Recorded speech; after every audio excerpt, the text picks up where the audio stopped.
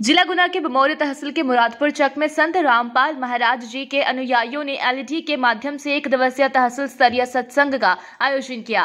TV LED के माध्यम से सत्संग करते हुए संत रामपाल जी महाराज ने बताया कि हम सब आत्माओं का परम धाम सतलोक है। वहाँ पूर्ण परमात्मा कबीर जी सुशोभित सिंहासन पर विराजमान है और कबीर साहिब ही सर्वश्रेष्ठ रचनाकार हैं।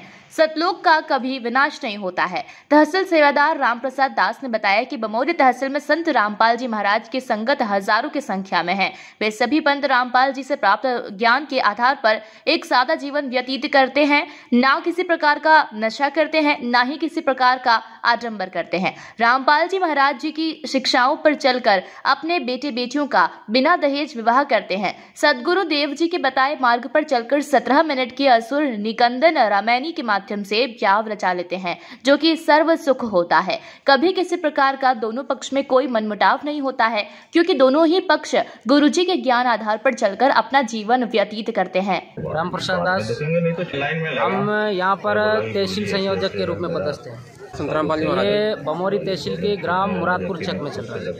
सत्संग करने के पीछे महाराज जी के एक ही उद्देश्य है जैसे दहेज प्रथा को खत्म करना और जो अत्याचार है जो भी उसके खिलाफ जो हो रहे हैं उसको खत्म करना।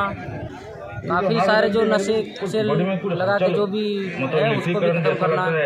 यही महाराज जी का उद्देश्य तो हाँ इसी तरह से चलते रहते तो प्रत्येक रविवार को ही हाँ होता है प्रत्येक रविवार को हमारे साइंस में है भी वो ये कार्यक्रम देते हैं। तहसील स्तर पर भी चलते हैं और जिला स्तर पर भी होते रहते हैं। ये हमारे है। संत रामपाल जी महाराज जी की तरफ़ से रहती है। सफ़र था ये दवाई के बारे नमस्ते गुना से रणधीर चंदेल की रिपोर्ट।